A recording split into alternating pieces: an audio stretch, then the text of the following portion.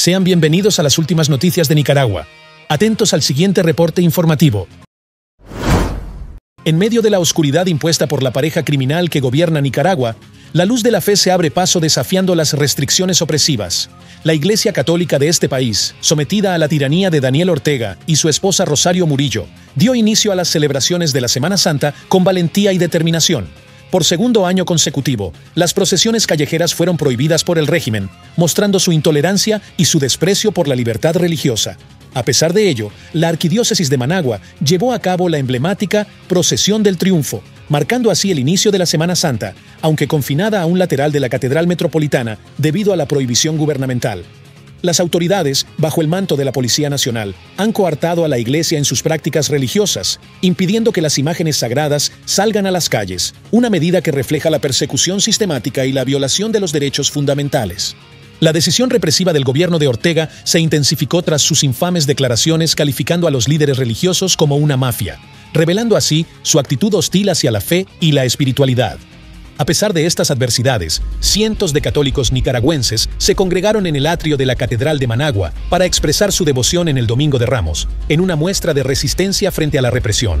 Mientras tanto, en un acto de solidaridad y protesta, la Iglesia Católica en Costa Rica realizó un viacrucis en apoyo a los migrantes nicaragüenses y en condena a la situación de represión y detenciones políticas en Nicaragua. Este evento simboliza la lucha por la libertad y la justicia, valores que son pisoteados por el régimen de Ortega, que ha llevado las relaciones entre el gobierno y la Iglesia a niveles de tensión insostenibles, marcados por la persecución, la censura y la falta de respeto a los derechos humanos más básicos. La policía al servicio del régimen de Daniel Ortega y Rosario Murillo incrementó su asedio y represión en contra de templos católicos en Nicaragua, en esta ocasión por la celebración del Domingo de Ramos, actividad religiosa con la que se da inicio a las fiestas de Semana Santa. Según la abogada e investigadora Marta Patricia Molina, la dictadura orteguista dispuso más de 4.000 policías para mantener una vigilancia extrema a todas las actividades de la Iglesia Católica. Asimismo, la jurista señaló que efectivos policiales iniciaron sus acciones de intimidación cuando decenas de fieles católicos llegaron a las diferentes iglesias para recordar la entrada triunfal de Jesús a Jerusalén montado en un asno. Por su parte, el padre Edwin Román, desterrado político, lamentó que un año más de la administración del dictador Daniel Ortega impide que la feligresía católica salga a las calles y celebre sus actividades religiosas. También Jesús fue víctima de turbas asusadas que lo apresaron violentamente con palos y espadas, subrayó el religioso en referencia a la represión que vive la Iglesia Católica en Nicaragua.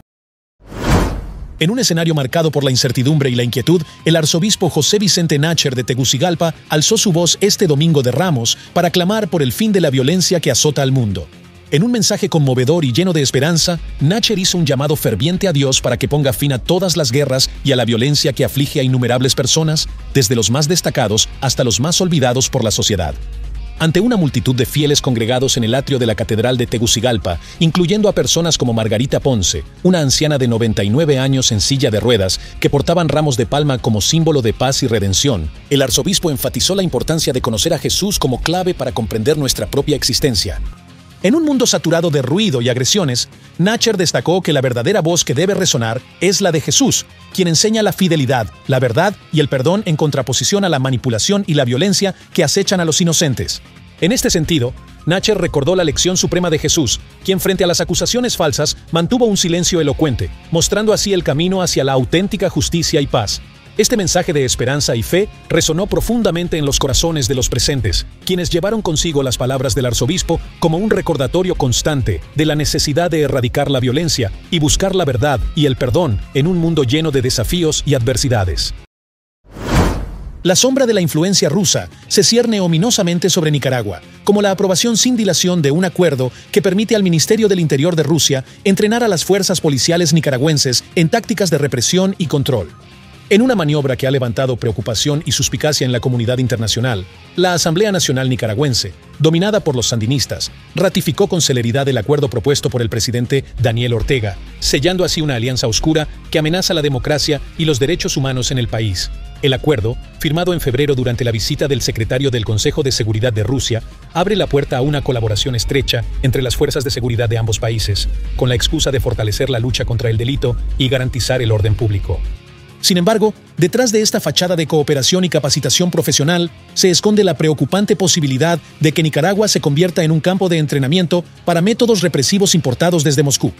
La opacidad y la falta de transparencia en torno a este acuerdo levantan sospechas sobre las verdaderas intenciones del régimen de Ortega, que cada vez más se aferra al autoritarismo y la represión como pilares de su gobierno.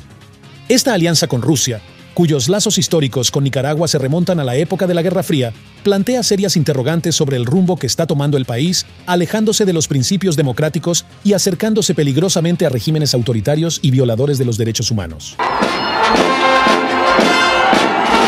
Este acuerdo consiste en un entrenamiento militar por parte de Rusia a la sancionada policía sandinista, así como la creación de una institución militar en el país. 80 votos a favor, 0 en contra, 10 abstenciones, 0 presentes.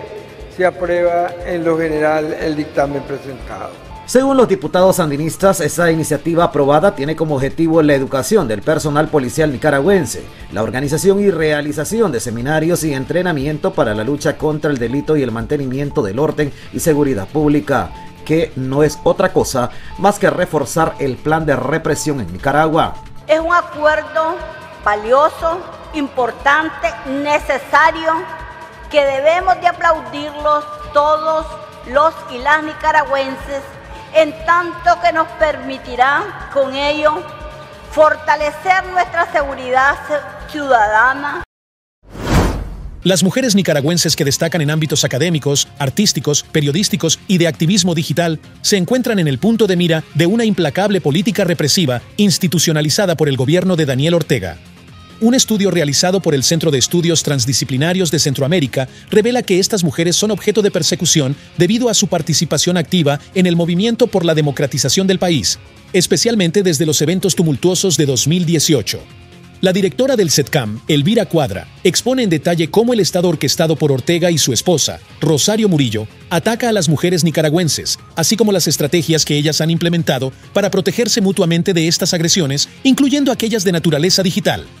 El informe destaca que estas mujeres enfrentan violencias específicas relacionadas con su ejercicio profesional, las cuales se entrelazan con otras características como su edad, origen étnico o geográfico. Cuadra señala que existen discursos y políticas de odio dirigidos tanto hacia las mujeres en general como hacia grupos específicos, evidenciando así una estrategia sistémica de violencia política dirigida a subordinarlas se han documentado casos en los que académicas, intelectuales y artistas reconocidas han sido castigadas simplemente por no someterse a las directrices del régimen, lo que ha resultado en detenciones arbitrarias, exilios forzados, despojos de nacionalidad, desplazamientos forzados, amenazas, acosos y agresiones físicas. Estas atrocidades forman parte de un patrón de represión y control diseñado para silenciar a las voces críticas y obstaculizar cualquier intento de cambio y progreso en Nicaragua. Las mujeres que se atreven a alzar la voz y defender los derechos fundamentales son blanco de una maquinaria represiva que busca perpetuar un sistema autoritario y opresivo.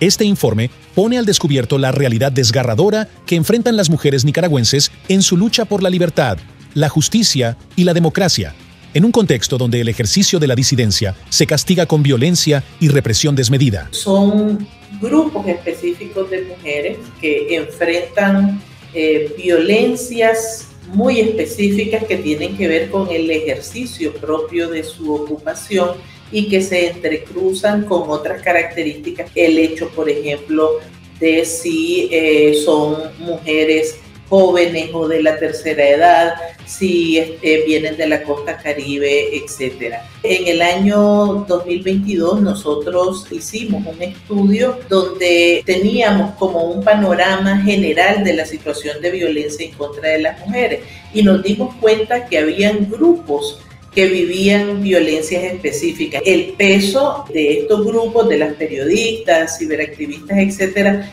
no es significativo en relación al resto de la población de mujeres, pero sí en relación al tipo de actividad que realizan.